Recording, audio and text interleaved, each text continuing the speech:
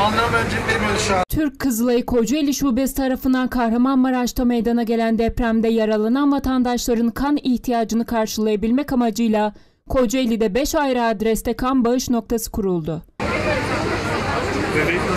Depremzedelere kan vereceksiniz.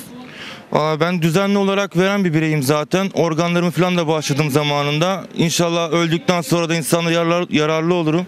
Hani umarım bütün İzmit halkı gerekeni yapar. Bütün toplum aslında gerekeni yapar. Tek deprem sırasında değil normal zamanlarında da herkesin vermesi lazım. Evet, sırf onlara yardım için.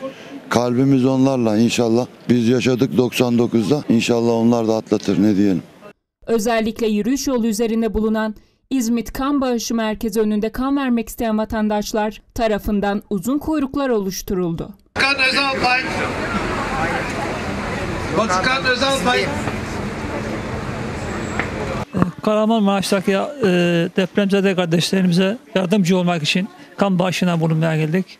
Allah hepimiz yardımcısı olsun. Bir çağrı yapmak ister misiniz vatandaşlara da? E, buradan e, tüm e, vatandaşlarımıza çağrı bulunuyorum. Herkes e, Kızılay merkezlerine gidip kan bağışına bulunsun.